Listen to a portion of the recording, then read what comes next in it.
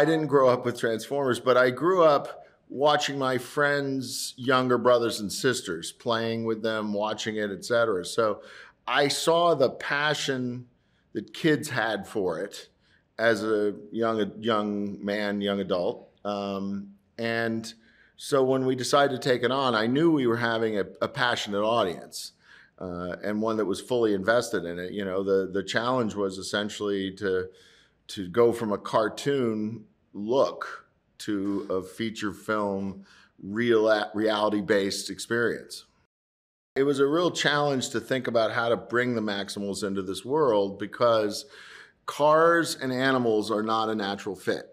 Uh, environmentally, we had to get to a jungle because they can't hide in the city the way Autobots can. Uh, and so there were a lot of new factors, really, in a funny way, about literally just coming up with a construct that made sense. The character arcs of Optimus and and Dominique and um, and Noah, Noah and um, Elena. Um, that's something we haven't done a lot of before, and so I think it's a new part of the experience for them.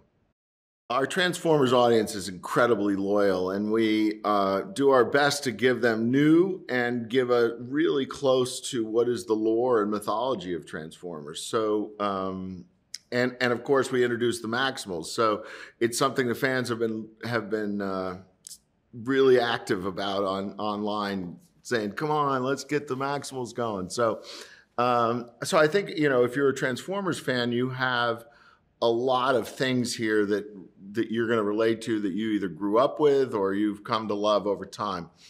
Non-transformer fan, we work really hard not to uh, to make sure that you don't have to be inside to understand anything. That that you're being introduced these characters in a way that you can just absorb them and not think you're missing out on something.